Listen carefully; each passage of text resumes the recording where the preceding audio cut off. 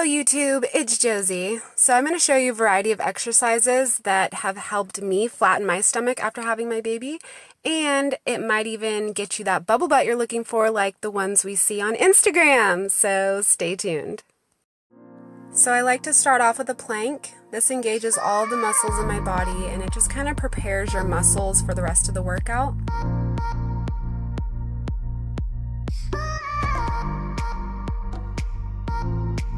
So these are regular horse kicks. I like to do about 50 on each leg. And these are really targeting those hamstrings and just tightening those glutes up, you know, nice and tight and right.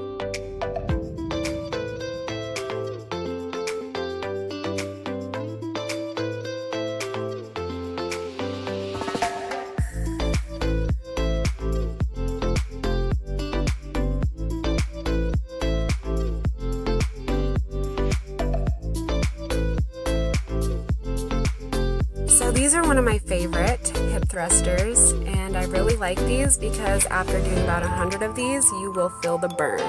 It really isolates those glutes and just gets that butt nice and tight and right.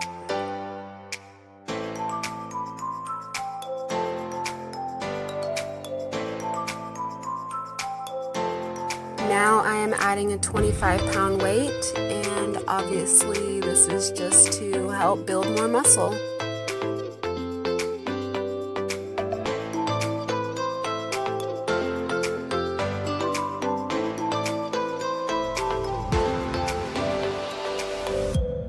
So one of the secrets to toning up faster is actually challenging your muscles from multiple directions by tweaking the exercises. So what I like to do is combine two different exercises like these, which are a leg crunch and scissor kicks. And I like to do about 60 of these each.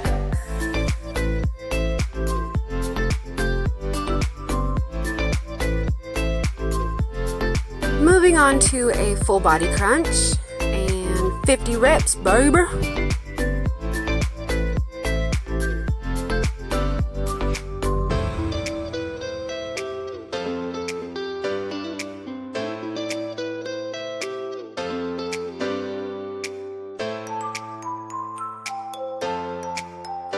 And now we're just doing good old regular scissor kicks. Scissor kicks, and I said about 30 reps each.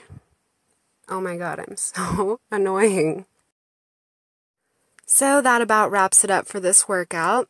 I just had a baby four months ago and I'm not done losing weight yet, but these have been working for me to tone up, so I hope they work for you too. If you like this video, subscribe for more. Thanks for watching. Mwah.